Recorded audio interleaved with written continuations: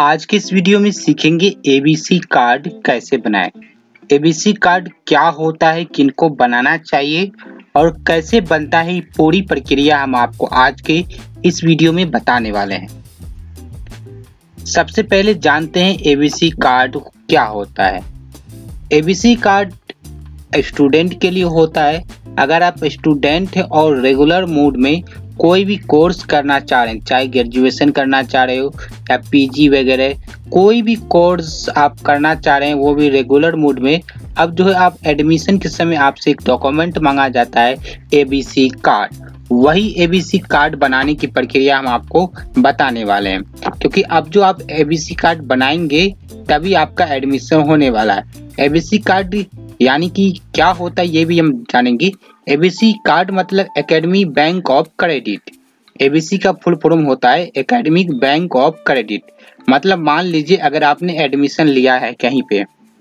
कहीं पे आपने एडमिशन लिया है किसी भी कोर्स में, उस समय आपसे एबीसी कार्ड मांगा जाएगा।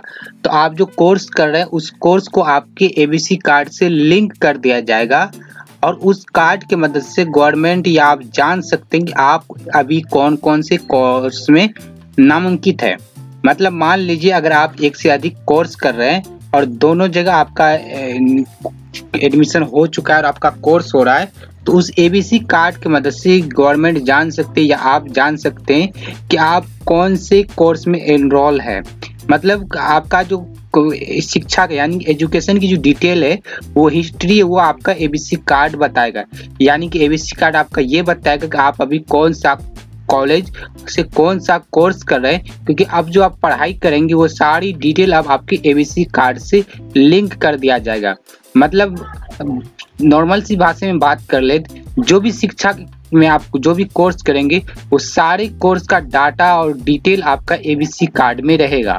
तो चलिए एबीसी कार्ड एडमिशन के समय आप महत्वपूर्ण डॉक्यूमेंट में से एक डॉक्यूमेंट है, जो आपको देना अनिवार्य होता है। तो समझ गए एबीसी कार्ड क्या है और एबीसी कार्ड कैसे काम करता है? और एबीसी कार्ड आपको एडमिशन के वक्त एक महत्वपूर्ण डॉक्यूमेंट के रूप में काम आएगा। तो चलिए एबीसी कार्ड बिल्कुल फ्री में बनाने के लिए आपको गूगल पे चले जाना, किसी ब्राउज़र में। और यहाँ पे सर्च बॉक्स में आपको सर्च कर देना है डीजी लॉकर जैसा कि आप देख पा रहे हैं, हमने यहाँ पे डीजी लॉकर सर्च किया। और यहाँ पहली वेबसाइट आ चुकी है W W dot D G locker dot G O V dot in simply से इस वेबसाइट को ओपन करेंगे। आप इस स्टेप को, इस तरीका को अपने सिस्टम के अलावा मोबाइल में फॉलो करेंगे तो सेम प्रक्रिया अगर आप डिजी लॉकर में पहले कभी अकाउंट बनाए हैं तो आप साइन इन करके अकाउंट को लॉगिन कर लेंगे। अगर आप डिजी लॉकर अकाउंट इस पर पहली बार आए तो पहला बार आपको एक अकाउंट बनाना होगा। अगर आपने अकाउंट बना लिया तो लॉगिन करेंगे अकाउंट कभी नहीं बनाया तो आपको साइन अप पे क्लिक करना है। चलिए, हम आपको एक नया अकाउंट बना के भी दिखाएँगे, जिसके लिए यहाँ पे साइन अप पे क्लिक करेंगे। जैसे भी इस पर क्लिक करेंगे, आपके सामने यहाँ फॉर्म आ जाएँगे। यहाँ पे जिसके स्टूडेंट है स्टूडेंट के नाम से अकाउंट बनाना है। जितने भी लोगों का आप एबीसी कार्ड बनाएँगे, सभी के नाम से अलग अलग अकाउंट बनाना होगा। तो एक अकाउंट से आप सभी का नहीं डाउनलोड कर पाएँगे, जितने अकाउंट उतने कार्ड मतलब हर स्टूडेंट का अलग अलग अकाउंट बनाना होगा उसके ही अकाउंट से उसका कार्ड डाउनलोड कर सकते चलिए यहाँ पे स्टूडेंट का फुल नाम डालेंगे, जो उनके आधार कार्ड पे। यहाँ पे डेट ऑफ़ बर्थ सेलेक्ट करेंगे, जो उनके आधार कार्ड पे, वही सेम डेट ऑफ़ बर्थ आपको यहाँ पे फिलअप कर देना है। उसके बाद इनका जनरल सेलेक्ट करेंगे mobile number email I D डालेंगे और यहाँ पे set six digit security pin यहाँ पे कह छह अक्षर का कोई पिन रखें, जिस पिन की मदद से आप अगली बार लॉग इन कर पाएँगे। यानी छह अक्षर का एक मनपसंद यहाँ पे पिन रख लीजिए, उसके बाद सबमिट बटन पे क्लिक कीजिए। जैसे आप सारी डिटेल डालेंगे और सारी डिटेल डालने के बाद सबमिट करेंगे तो यहाँ पे आपके मोबाइल पे एक ओटीपी भेज दिया जाता है। उस ओटीपी को आप यहाँ पे एंटर करेंगे। कौन से मोबाइल पे ओटीपी भेजा गया, उसके अंतिम का चार अक्षर आपको यहाँ पे शो करेगा। हमें हमें ओटीपी रिसीव हो चुका है।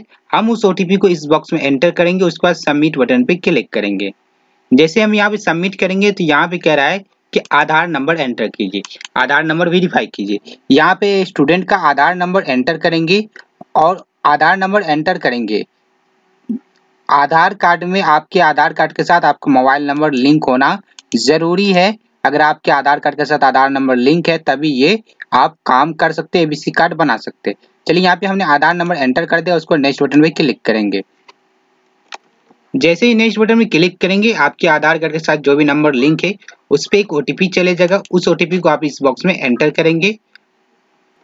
तो हमने यहाँ पे ओटीपी एंटर कर दिया। ओटीपी एंटर करने के बाद सबमिट बटन पे क्लिक करेंगे। तो यहाँ पे देखिए हमने सबमिट बटन पे क्लिक कर दिया। जैसे हमने सबमिट बटन में क्लिक किया तो यहाँ पे देख सकते हैं, हमारा अकाउंट बन चुका है, बनकर लॉगिन भी हो चुका है। यहाँ पे एबीसी कार्ड के बारे में बता रहा है कि बना सकते हैं। इसे हम फ़िलहाल क्लोज करेंगे।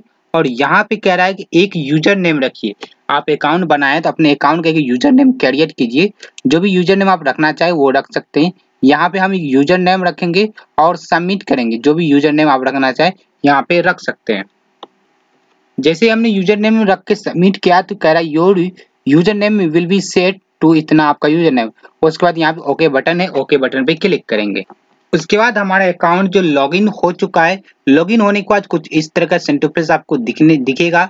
आपको एबीसी कार्ड बनाना है तो सिंपली से आपको यहाँ पे साइड में भी तीन चार ऑप्शन मिल जाते हैं। जो भी डॉक्यूमेंट इशू होंगे वो यहाँ पे शो करेंगे।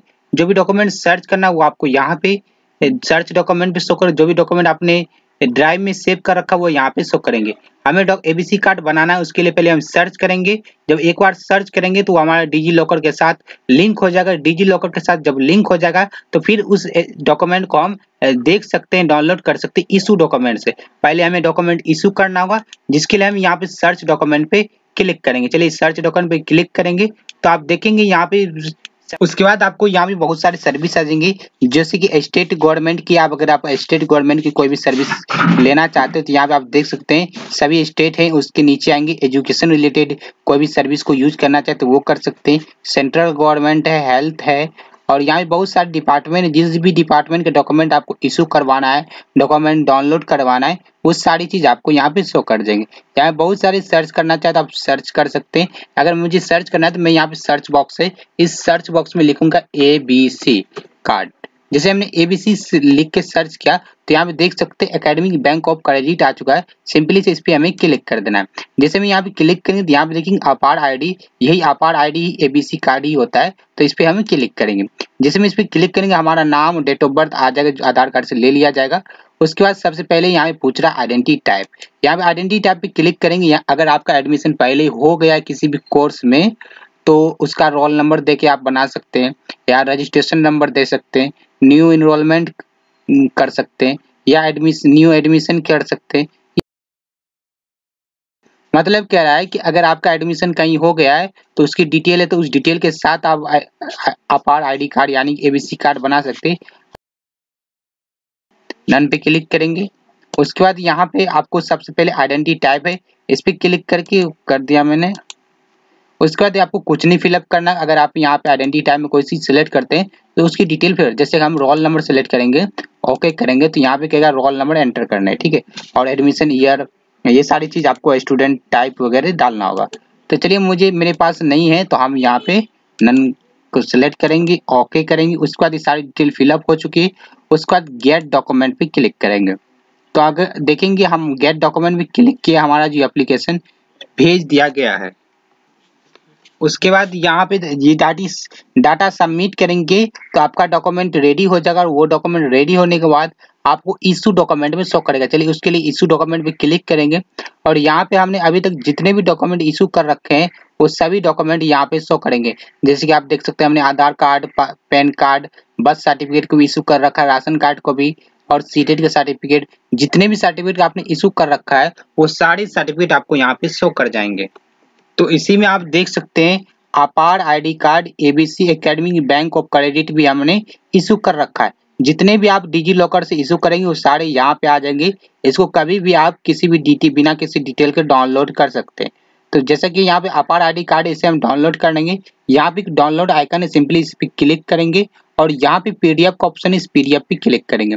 जैसे भी इस पीडीएफ पे क्लिक करेंगे, आपकी जो डॉक्यूमेंट है डाउनलोड हो जाएगी जैसे कि आप देख पा रहे हैं, हमारे केस में हमारा डॉक्यूमेंट डाउनलोड हो चुका है। इस पर क्लिक करके हम अपना एबीसी कार्ड अपार कार्ड देख सकते हैं, जो कि आप देख सकते हैं हमारा नाम और date of birth Aadhaar card से ले लिया गया है और फ़ोटो भी आधार कार्ड से ले लिया गया है। इसमें एक अपार आईडी दिया गया जो आपका एबीसी आईडी हो गया अपार आईडी अगर आपको कहीं पे एबीसी कार्ड मांगे तो आप इस एबीसी कार्ड को देखकर अपना एडमिशन करवा सकते हैं। तो इस तरह आप एबीसी कार्ड को यूज़ कर सकते हैं। और एबीसी कार्ड के साथ साथ ये अगर रेगुलर से आप कोई कोर्स कर रहे हैं, तब आपका एबीसी कार्ड मान्य होगा। अगर आप रेगुलर से नहीं कर रहे हैं, मान लीजिए अगर आप डिस्टेंस मूड से कर रहे हैं या किसी और मूड से कोई भी कोर्स कर रहे हैं तो आपका ये अपार कार्ड नहीं लिया जाएगा। तो डिस्टेंस अगर आप कर रहे हैं तो आपको एक कार्ड लिया जाएगा जिसका नाम है D E B card D E B card distance card होता है डिस्टेंस वाले के लिए तो D E B card distance education bureau ठीक है? डिस्टेंस एजुकेशन ब्यूरो होता है, उस कार्ड की मदद से आप डिस्टेंस में एडमिशन लेते हैं तो ले सकते हैं। अगर आप रेगुलर में एडमिशन लेना चाहते हैं तो आपको एबीसी कार्ड देना होगा, जो आपने अभी मैंने आपको बताया बनाने का तो इस तरह आप एबीसी कार्ड बना के रेगुलर में एडमिशन ले सकते हैं। अगर डिस्टेंस किसी कोर्स में एडमिशन लेते उस समय आपको मांगा जाता है DEB card distance education bureau तो डीईबी कार्ड बनाने का लिंक आपको वीडियो के डिस्क्रिप्शन बॉक्स में मिल जाएगा। मैंने आपको उसका भी वीडियो दे चुका हूँ, आप देख लीजिएगा लिंक आपको वीडियो के डिस्क्रिप्शन बॉक्स में मिल जाएगा। उस वीडियोज़ की मदद से आप डीईबी कार्ड भी बड़ी आसानी से बना सकते हैं। लेकिन याद रखेंगे, अगर आप डीईबी कार्ड बनाना चाहते हैं तो उससे पहले आपको एबीसी कार्ड बनाना ज़रूरी है। एबीसी कार्ड बनने से पहले ही एबीसी कार्ड बनने के बाद ही आप डीईबी कार्ड बना सकते हैं। चलिए आप मिलते हैं फिर न्यू वीडियो में D E B video D E B card वाले वीडियो में। तब तक के लिए वीडियो देखने के लिए बहुत बहुत शुक्रिया, धन्यवाद।